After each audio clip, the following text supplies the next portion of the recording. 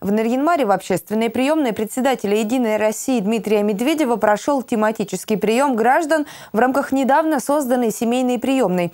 Он был посвящен новым мерам социальной поддержки, обозначенным в послании президента, в частности, изменениям в правила использования материнского капитала. Мероприятие прошло при участии секретаря Ненецкого реготделения «Единой России» Дениса Гусева, его заместителя Максима Арбузова, уполномоченного по правам ребенка Галины Гуляевой, а также представителей пенсионного Пенсионного фонда, отделения соцзащиты населения и окружного профильного департамента. Ирина Никешина продолжит. Всего за три часа приема граждан было рассмотрено 15 обращений наринмарцев, как личных, так и сделанных по телефону и электронной почте. Участники семейной приемной ответили на вопросы, связанные с использованием материнского капитала, правом его получения, индексацией соответствующих выплат мат-капитала. Кроме того, несколько вопросов касалось проблем, с которыми людям пришлось столкнуться при оформлении тех или иных мер социальной поддержки. Обратился гражданин, э, который сомневается в том, что различные выплаты по уходу за детьми до полутора лет и до трех лет можно оформить на э, одного члена семьи, а нужно для этого привлекать кого-то еще, бабушку, дедушку или какого-то родственника.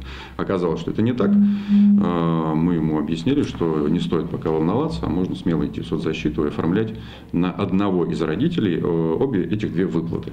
Еще одно обращение касалось состояния здоровья несовершеннолетнего. Жительница региона рассказала, что с ее десятилетнего сына, который лишился глаза в 2017 году, была снята инвалидность. Теперь семья не может использовать для изготовления глазного протеза материнский капитал. Протез делается индивидуально и стоит от 8 до 10 тысяч рублей, которые семье собрать трудно.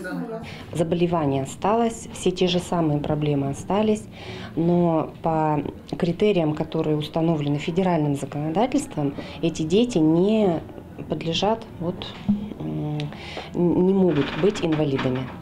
И вот здесь как раз такое обращение, а инвалидность, казалось бы, ну, это не самое лучшее, что может быть у человека. Но с другой стороны, именно инвалидность э, установления, оно дает э, людям преимущества, которые помогают просто жить человеку. Это и медицинское сопровождение, более, скажем, э, упрощенное да, для таких граждан. Случай требует немедленного реагирования и изменений федеральные нормативно-правовые акты, прокомментировал ситуацию Максим Арбузов. Парламентарии намерены обратиться с этим вопросом к депутату Государственной Думы Сергею Коткину и уполномоченному по правам ребенка в России Анне Кузнецовой. В свою очередь секретарь Ненецкого регионального отделения партии «Единая Россия» Денис Гусев сказал, что реготделение поможет изготовить ребенку глазной протез и возьмет на себя связанные с этим расходы.